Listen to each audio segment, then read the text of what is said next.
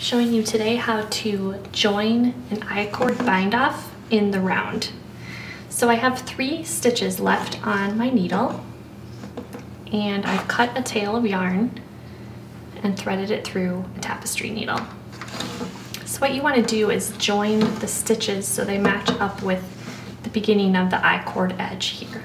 So to do that, I have my yarn coming off this stitch on the left and I want it to come through the stitch on the right so that I can match this stitch with the far right I-cord stitch here.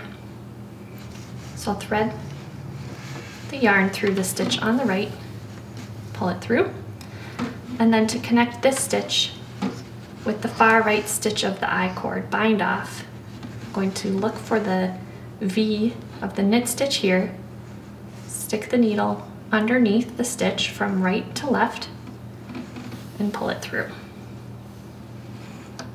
I can let that stitch fall off the needle. Then what I'm going to do is come back down through the top of this stitch and pull it through. I'm going to go underneath the second stitch on the needle and then connect this with the middle stitch the beginning of the I-cord bind off. So I'm going underneath this middle stitch here. So three, one, two, three. Pull through. And then come back down through the top of that stitch. I'm not pulling it too tightly because I want it to match the tension of the stitches that are in the I-cord bind off. And then I'm going to go through the last stitch on the needle and I'll remove the needles.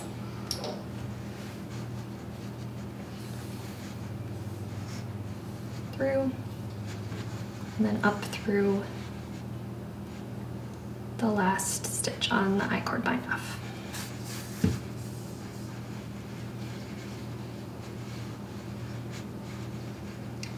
To come back down through that same stitch again.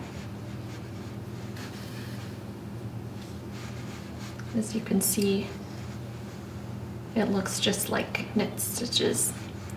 And then what I'll do is push this yarn through the back of my work so that I can weave it in as I normally would and cut the tail.